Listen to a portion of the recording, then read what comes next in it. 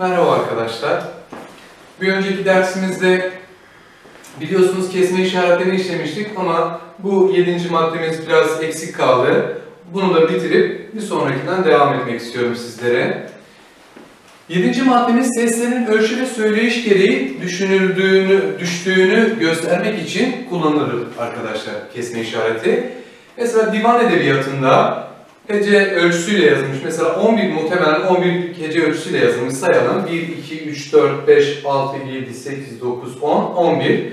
Alta bakıyorum. 1, 2, 3, 4, 5, 6, 7, 8, 9, 10, 11. Normalde 12 olacakken ne yapmış? Üsttekine uydurmak için buradaki kesme işaretini kullanmış arkadaşlar. Bir ok attım kar, karlı dağın ardına düştü mola sevdiğimin yurduna derken buraya düştü mü ola sevdiğimin yurduna dedi, demiş kesme işareti kullanmış ne yapmış hece ölçüsünü tamamlamak için kullanmış arkadaşlar burada. Evet gelelim eğik çizgiye.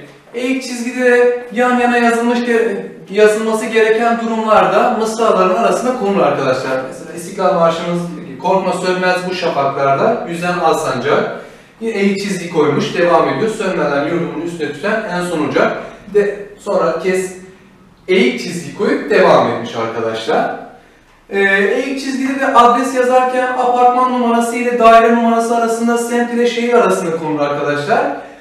Altay Sokağı 21 kesme eğik çizgiyi koymuş ve altı yazmış kurtuluş kesme kesme işareti diyorum. Eğik çizgiyi koymuş ve Ankara deyip devam etmiş arkadaşlar. Kesme işareti bir diğer şekilde tarihlerin arasına konur arkadaşlar. 18 11 1969 gibi devam ediyorum dördüncü maddemle. Dil bilgisi dil bilgisinde eklerin farklı biçimlerini göstermek için kullanılır. Evet A, E, an, en, lık, lik, eki gibi. Genel ağlarda gördüğünüz gibi kullanılıyor arkadaşlar. Matematikte de bölme işlemi olarak kullanılabiliyor arkadaşlar. Ters eğik çizgi bu da bilişim uygulamalarında art arda gelen dizi, dizin, dizinleri birbirinden ayırt etmek için kullanılır arkadaşlar. Belgelerin Türk işaret dili, kitapçık koymuş arkadaşlar. Denden işareti de çok kolay arkadaşlar. Satırlarda alttakinden ve üsttekinin aynı olduğunu belirtmek için ne yapıyor? Adı üstünde denden iki tane kesme işareti koyuyoruz arkadaşlar. Etken fiil, edilgen fiil demiyor, denden koymuş. Dönüşlü fiil demiyor, denden işareti koymuş. Devam ediyoruz. Yay ayraç arkadaşlar cümle yapısıyla doğrudan doğruya ilgili olmayan açıklamalar için, açıklamalar için kullanılır arkadaşlar. Bakın örneğimize bakalım.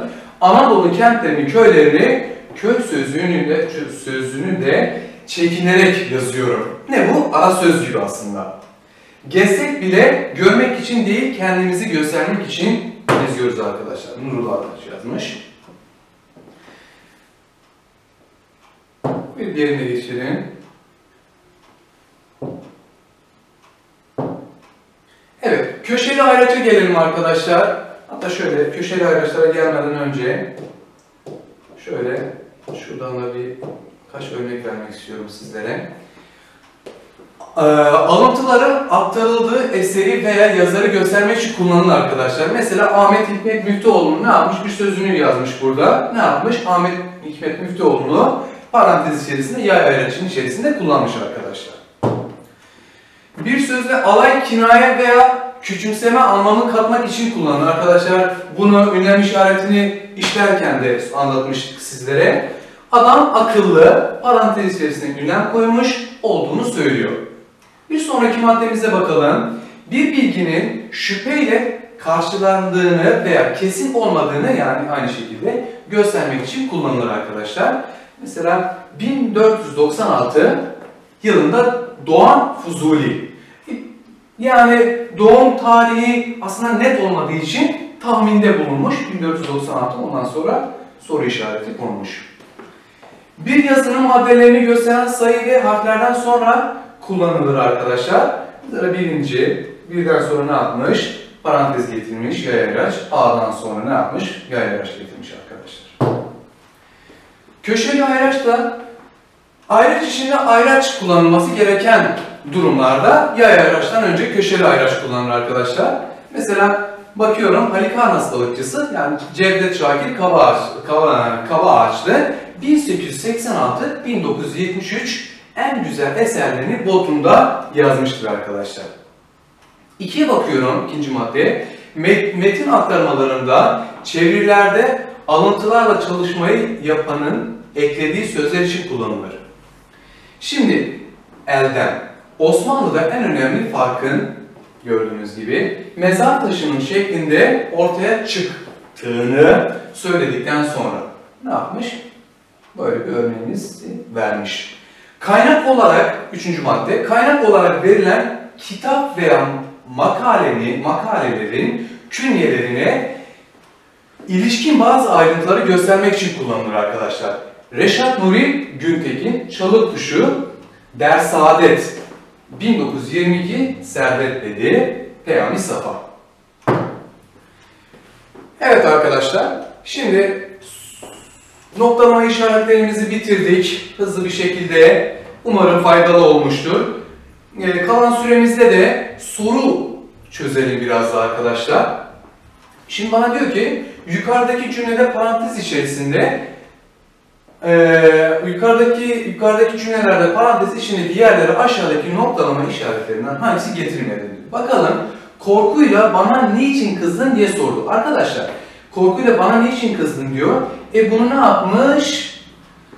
Tırnak içerisinde kullanmış. E ne yapacağım o zaman? Bir sözü vermiş. iki nokta kullanmayacak mıyım burada? İki nokta kullanacağım. O zaman ne oldu? B ve D gitti gördüğünüz gibi. Bana niçin kızdın? E soru soruyor. Soru işareti A da elendi. Ne yapacak diye sordu. Sonra nokta konuluyor arkadaşlar. Bir sonraki sorumuz aşağıdaki cümlelerin hangisinde kesme işareti yanlış kullanılmıştır? Güzel. Nigarlar dün gece yola çıktı. Şimdi burada nigarlardan, nigardan sonra ler eki gelmiş. E biz ne demiştik arkadaşlar? E lar eki yapım, e, lar eki çoğul ekiydi. Kesme işaretiyle ayıramazdık çocuklar. B'ye bakıyorum. TBMM'de herhangi bir sıkıntı yok. Saat 13'te hiçbir problem yok. Saat 11'de gördüğünüz gibi bir problem yok. Ama nigarlar derken kesme işareti konulmaması lazım arkadaşlar. Aşağıdaki cümlelerin hangisinde noktalı virgül yanlış kullanılmıştır? Noktalı virgül Noktalı virgül bizim de yedek oyuncumuzdu arkadaşlar. Bildiğiniz gibi.